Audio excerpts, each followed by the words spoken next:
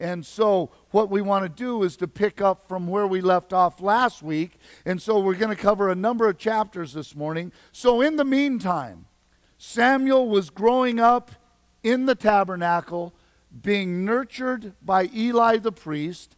And Samuel was now speaking to God's people on behalf of God.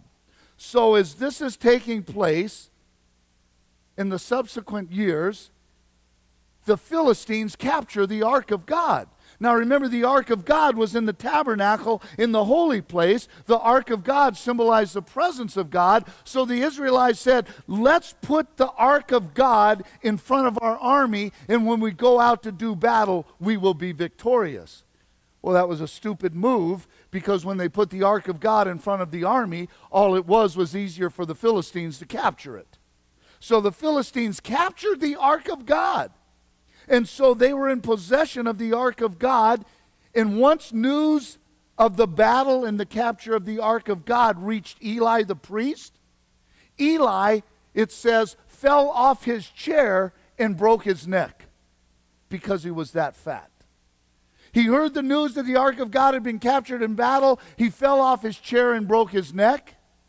And remember last week, the prophecy about Eli was that his house would be done forever. That, that, that young Samuel and even the visitor from God said, Eli, you're finished as a priest because your family is so wicked. So Eli fell off the chair and died, broke his neck. His two sons were killed in battle when they captured the ark. Eli's daughter in law gave, died giving childbirth and she named her child Ichabod, and Ichabod means the glory of God is gone. So the ark of God has been captured by the enemies. Eli the priest is dead, and his daughter in law names her child Ichabod. The glory of God is gone, or in other words, we're in a mess. And that was kind of where Israel found itself. Well, the ark of God was in the, um, it was in the possession of the Philistines for seven months. And for seven months, the ark of God was a pain in the neck to the Philistines. So the Philistines got the ark of God, they put it on an ox cart, put it on the road back to Israel, and said, Get away from us. That's how much trouble the ark of God was for the nation of Philistia. And so, anyway, after seven months of the ark being gone, it returns to Israel. But during this time, the ark was gone, Eli the priest was dead, Samuel was leading the people, but their hearts were far from God. 1 Samuel chapter 7 verse 2. 1 Samuel 7 2. If you need a Bible this morning, raise your hand. Anybody need a Bible? You got one? There you go. Tony and Yo will bring you one. Keep your hand up. 1 Samuel chapter 7 verse 2. During that time, all of Israel mourned because it seemed the Lord had abandoned them. I want you to pay close attention to the state of the people. They mourned because spiritually it seemed like the Lord had abandoned them. So let me tell you this morning, first of all, God never abandons his people. So if God seemed distant to the Israelites, the Israelites had removed themselves from God. And I'll tell you the same thing this morning. If God seems distant from you, it's because you've removed yourself from the nearness of God, not that He's distanced Himself from you. God does not abandon His people. 100% of the time, God's people abandon Him. And we have to see that here. We have to learn that here. And so, what we see in chapter 7, verse 3, is that when the people finally had enough of their sin, of their debauchery, of their distance from God, they cried out to him. When they finally had enough, Samuel led them in revival. 1 Samuel 7, verse 3 and 4. Then Samuel said to all the people, If you are really serious, and notice what he says to them. If you are really serious about returning to the Lord, same thing's true for us this morning. If you, church, are really serious about returning to the Lord, so what does that imply to me? That some of us aren't serious about God. Some of us aren't serious about our relationship with Him. Some of us are very casual in our relationship with God. But Samuel says if you're serious about getting yourself right with God, Get rid of your foreign gods. Get rid of your images of the Ashtoreth. Determine to obey only the Lord, and then he will rescue you from the Philistines. So the Israelites got rid of their images of Baal, the Ashtoreth, and they worship God alone. So, whatever your idols are, it's probably not Baal, it's probably not an Ashtoreth pole. But whatever your idols are, church, that stand in the way of you and you being serious with God, get rid of it. And He will draw near to you and you will draw near to Him. But leave them there and nothing good will transpire. So, they decided to give themselves over to God once again. So Samuel gathers all of Israel to a city, a village called Mizpah. And they gather there to celebrate the fact that they are giving themselves back over to God. But while they are there, the Philistines attack them. Now, Samuel, he's a prophet. Samuel is a judge, but Samuel's not a military leader. But what God does through Samuel is he allows him to lead Israel's armies into victory over the Philistines. And Samuel brought victory to the nation of Israel that day. So Samuel has now defeated the Philistines. Samuel has now led the people uh, in revival, in coming back to God. And then we read in chapter 7, verse 17 Samuel continued to be Israel's judge for the rest of his life. Each year, Samuel traveled, setting up his court in Bethel, Gilgal, Mizpah, and his home in Ramah. So, what Samuel did for the rest of his life is he judged God's people. He would travel around being like a circuit judge, and he would hear uh, he would hear issues from the people in this town. He would hear issues from people in that town, and he would resolve their conflicts. He was the judge of Israel. And so this part of the country was working well. Samuel going from town to town, judging the conflicts and the problems of the people. But in the midst of that, Israel began to get restless again. And as I said last week, godly parenting doesn't always lead to godly children. Remember Eli's sons? They were wicked, they were sinful, they were horrible children of the priest.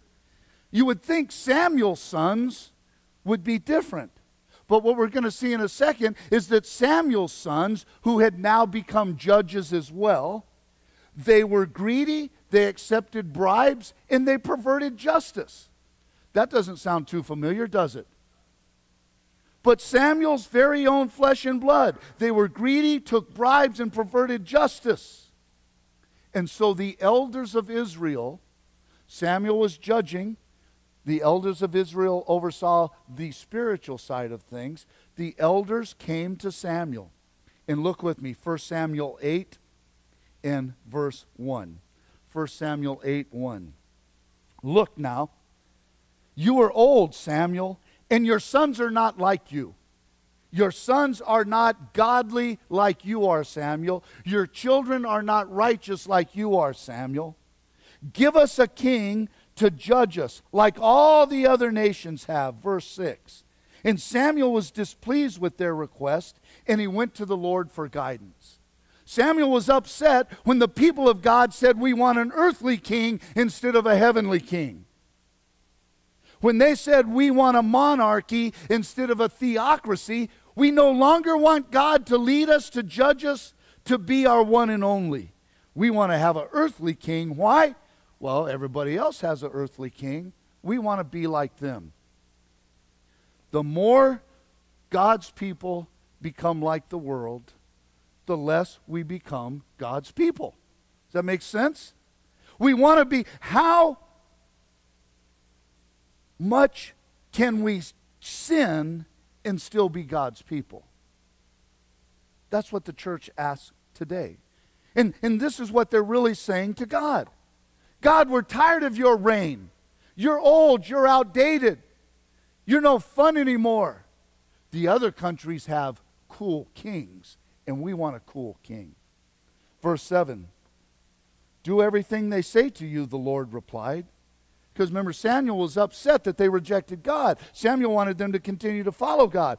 God says to Samuel, Do everything they say to you. For it is me they are rejecting, not you, Samuel. See, sometimes my feelings get hurt when people leave and go to another church. I don't know why they do that. But I have to understand they're not rejecting me, they're not rejecting you. They just see things differently. And when these people chose an earthly king over being led by God, they saw things differently. He says, It's me they're rejecting, not you. They don't want me to be their king any longer. Verse 8. Ever since I brought them out of Egypt, ever since I gave them food in the desert, ever since I gave them the promised land, ever since I blessed them and kept them safe, ever since all of that happened, they have continually abandoned me and followed other gods. And now they are giving you the same treatment. So Samuel, do as they ask, but solemnly warn them about the way a king will reign over them. Church, we're just like Israel.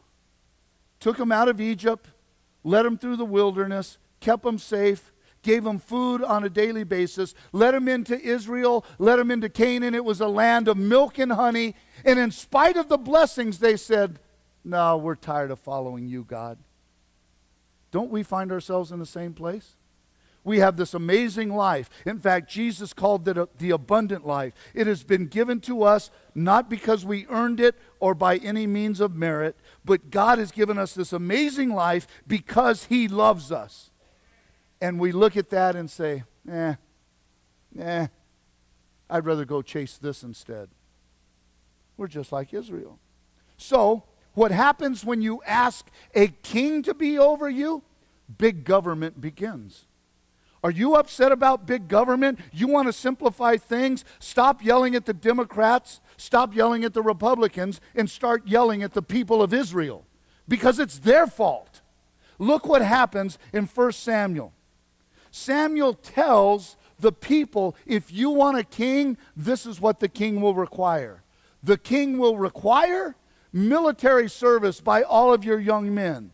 The military will require financial and material support, and that will come from the people. You will be the people tending the king's fields. Your women will cook, bake, and serve the king. The king will take the best of your fields. He'll take the best of your vineyards. He'll take the best of your olive groves. One tenth of your grain and grape harvest will go to the king. He will need your servants.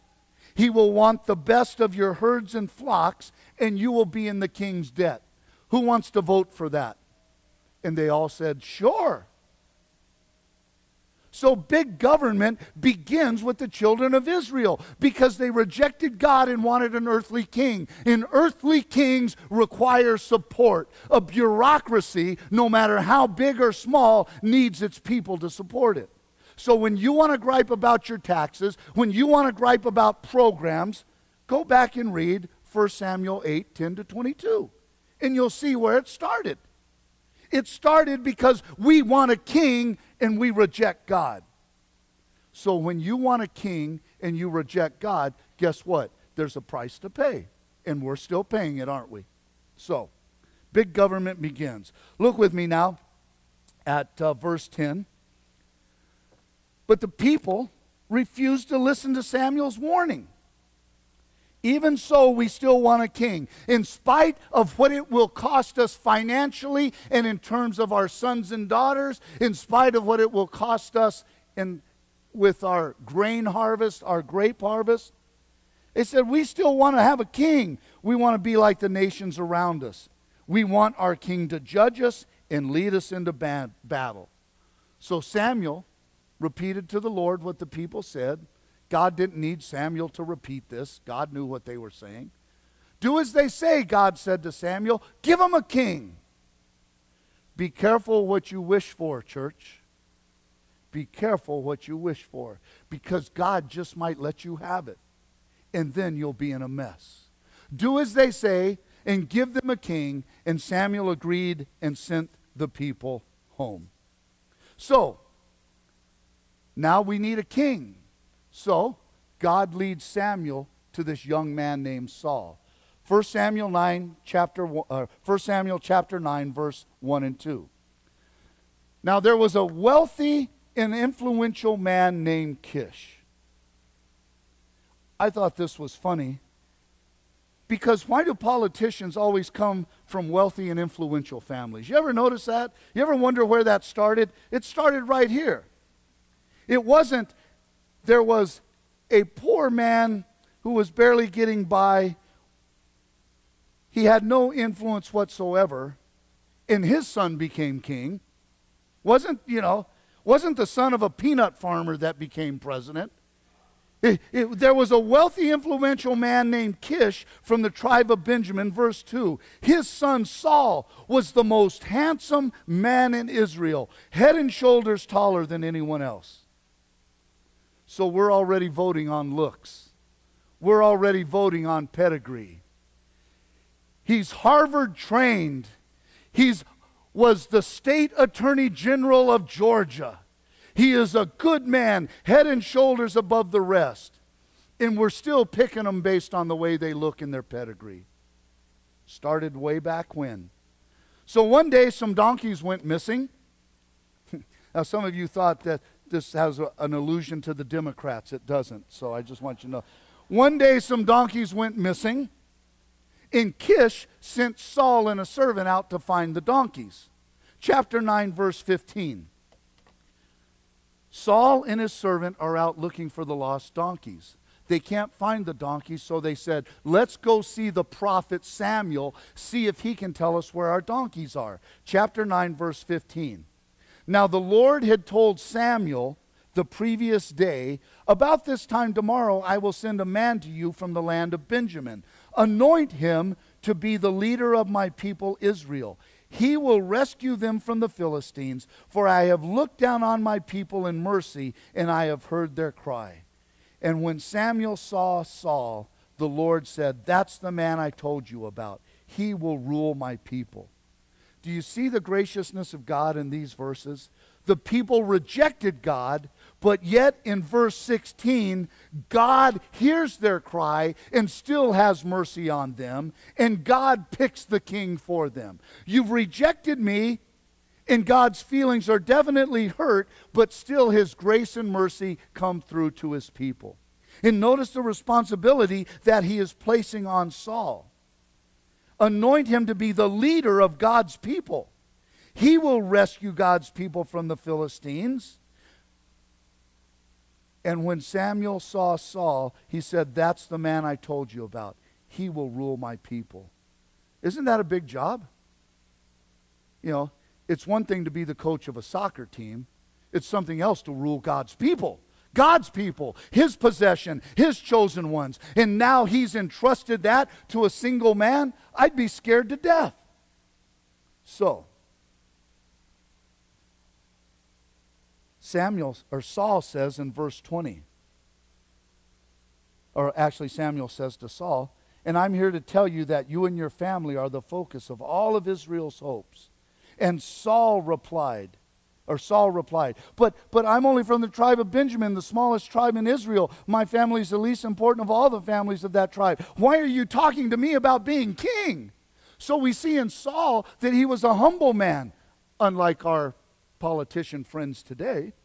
Saul was a humble man. Why, why are you talking to me like this? Well, before Saul left home the next day, they went up and worshiped God together, and Samuel threw a big feast for Saul. And then in chapter 10, verse 1, it says this before Samuel went back home, or before Saul went back home.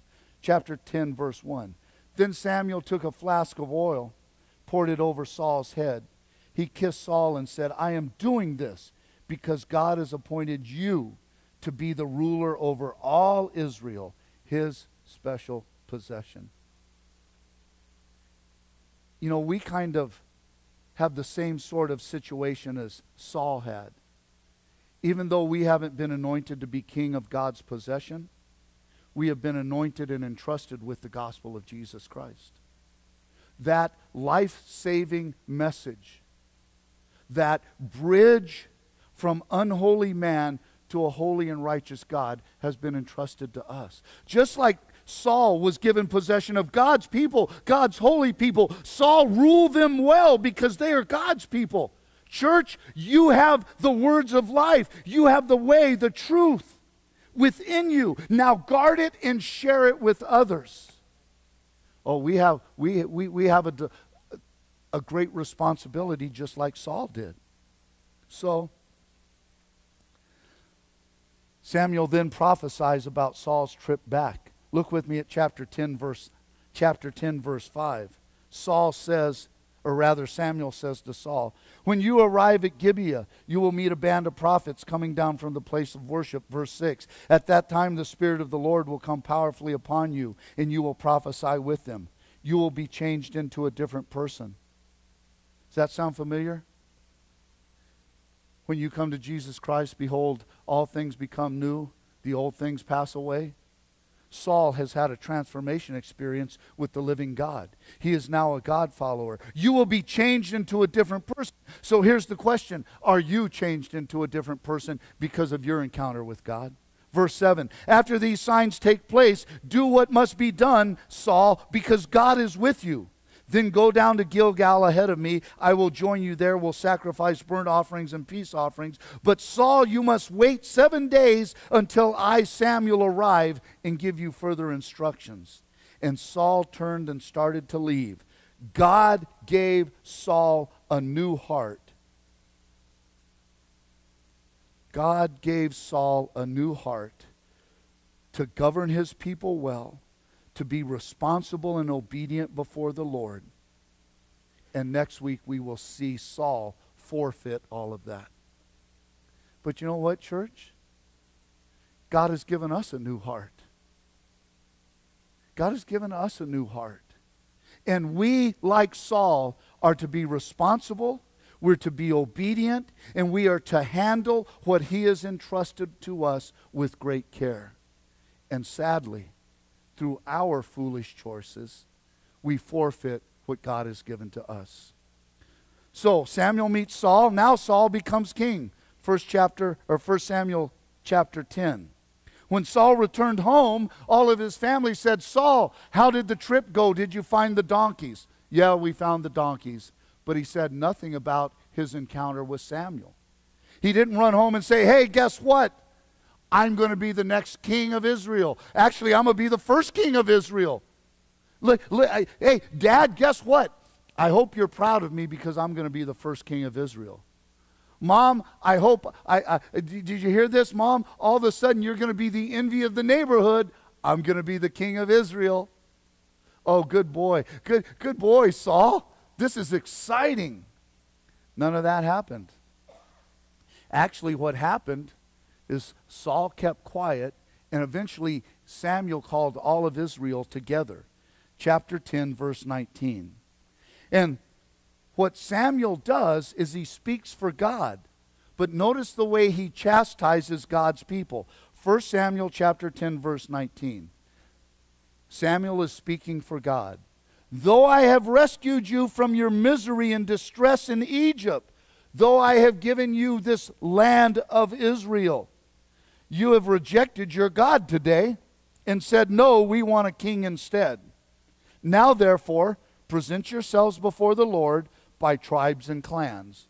So there's 12 tribes of Israel. Within each tribe, there was a number of families or clans. Those clans were broken down into families. So they began to draw lots. So it wasn't the tribe of Reuben, wasn't the tribe of Manasseh, wasn't the tribe of Dan, but it was the tribe of Benjamin. And they went through all the families. It wasn't this family, that family. Then they got to the family of Kish, and they found out it was his family. And then they went through Kish's sons, and the lot fell on Saul. The lot fell on Saul. Chapter 10, verse 21. But when they looked for Saul, he had disappeared. So they had to ask the Lord, Where is Saul? They had to ask God, Where's Saul, our king? Where is he? And the Lord replied, He is hiding among the baggage. So they found him and brought him out, and he stood head and shoulders above everyone else. And Samuel said to all the people, This is the man the Lord has chosen. Who chose Saul? Tell me. Who chose Saul? The Lord.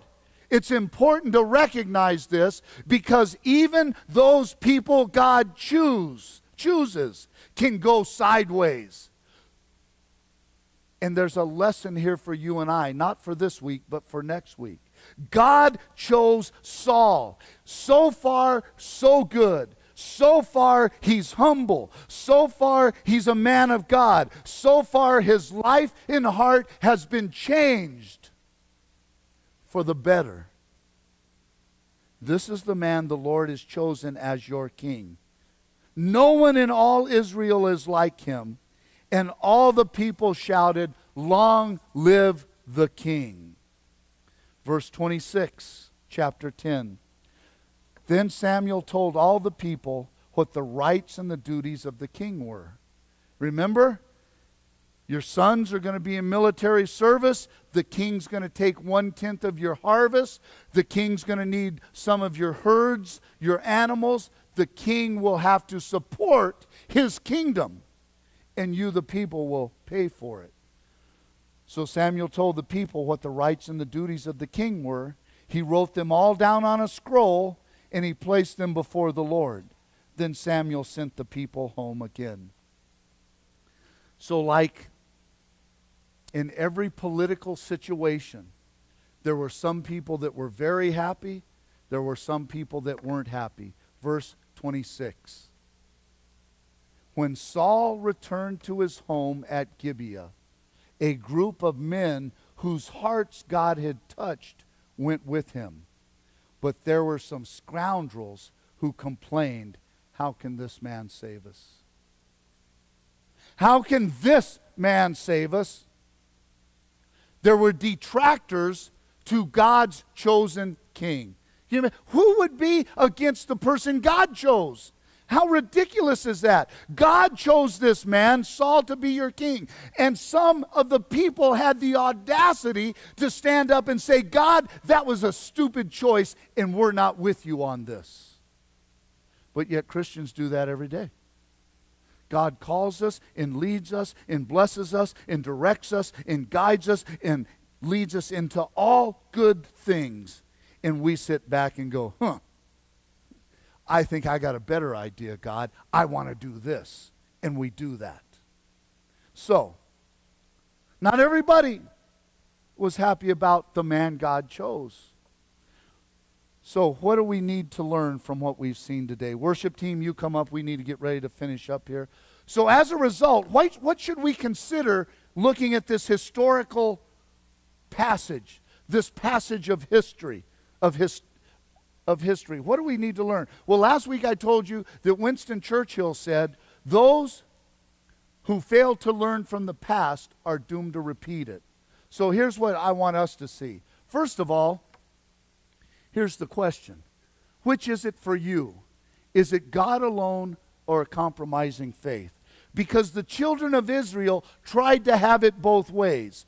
So the Israelites got rid of their images of Baal and Ashtoreth, and they worshiped God alone. Remember when Samuel led the people in revival, and they got down prostrate before God, and they cried out to him and said, God, we will serve you and follow you, and revival came to God's people? Well, it was only a short time after that they said, God, give us a king. So, which is it, church? Are you following God or you got one foot in your agenda and one foot in God's agenda? If you said yes to God, then say yes to God. If you're going to shake your fist in your face, in his face, then do that and go do something else. Don't try to walk both sides of the road. The children of Israel, oh, yes, God, we want to follow you. We confess our sins. We'll stop worshiping the other false gods. We're all yours, God. And then a few months later, hey, God, we're not so happy with the way you're running things. Can we have a king? They've got that problem, and guess who else has that problem? We have that problem. So, which is it? God alone or a compromising faith? Because if it's not God alone, then it's automatically a compromising faith. Secondly, what we need to learn from is that Saul said yes. What about you? God, I'm the smallest guy. in the smallest family, in the smallest tribe of Benjamin, I cannot be the guy. And God said, Yes, you are. And Saul said yes to God. What about you? Will you, have you said yes to God? The Spirit of the Lord will come powerfully upon you, Saul, and you will prophesy, and you will be changed into a different person. And God gave Saul a new heart. Say yes to those things if you haven't said yes to those things, and then live accordingly. And then, thirdly, is there still some scoundrel in you? Is your heart still got that little piece of your agenda there? Where you look at people in the church, you look at the things of God, and you roll your eyes and say, Yeah, well, yeah, well, you know, you know, Randy Robbins, he's not really all that. A little bit of scoundrel in you. Yeah, well, community church, a lot of flash, and, you know, Pastor Conrad's had some problems. Is there still some scoundrel in you? Oh, well, you know, down at Susanville Assembly, they, you know, that's a good church, but what is keeping you from being excited about God's work in the kingdom? What's missing in your life that you have to hold on to that 1%, that 2%, that 5% of your agenda instead of giving it all to God. Don't you see that that is always the best answer? Always. 100% given to God. Because, church, He didn't die for you 51%, did He? So stop giving Him 51% of your life. Because in you and I, there still might be a little bit of scoundrel. Father, now my prayer is that we would hear from you. Father, I don't know what changes we need to make, what we need to address in our life. but God, help us to stop worrying about what we're going to do as soon as we get in the car and head for lunch. Father, help us not to watch the clock and worry about what time it is. But Father, help us focus on the truth of your word are we living the life you've called us to? Are we the people that you desire us to be? And if we're found wanting, then God, may today we change that up. Be with us now in Jesus' name. Amen. Let's stand together and sing with Randy. The altar's open.